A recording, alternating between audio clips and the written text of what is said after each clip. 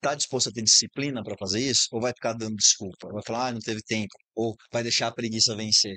Aí vai chegar do trabalho cansado, vai assistir, vai assistir no, sentar no sofá para assistir um documentário, para assistir um curso, porque ah, curso online agora tá bom, tem o que mais tem, pessoas fazendo lançamento, cursos digitais online, entregando conteúdo. O YouTube tá cheio de conteúdo de graça. Peraí, a pessoa vai chegar, vai sentar, ou vai sentar, vai ficar no sofá, vai ficar comendo, assistindo filme, Netflix e, e só coisa engraçada. Aí a pessoa, peraí, ela tá falando que, ah, se eu tivesse dinheiro, eu emagreceria, mas peraí, a disciplina para conseguir emagrecer é a mesma disciplina que você vai ter para conseguir ganhar dinheiro. Aí eu falo para as pessoas, falo assim, olha, faz o seguinte, foca primeiro então, foca primeiro em ganhar mais dinheiro, em prosperar, e aí você usa esses recursos para te ajudar a emagrecer depois.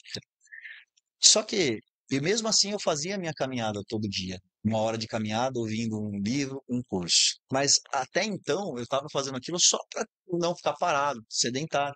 E eu focava mais tempo em trabalho. Então tem momentos da vida que, apesar de você procurar um equilíbrio, tem momentos que você vai precisar dar foco e energia para uma área mais.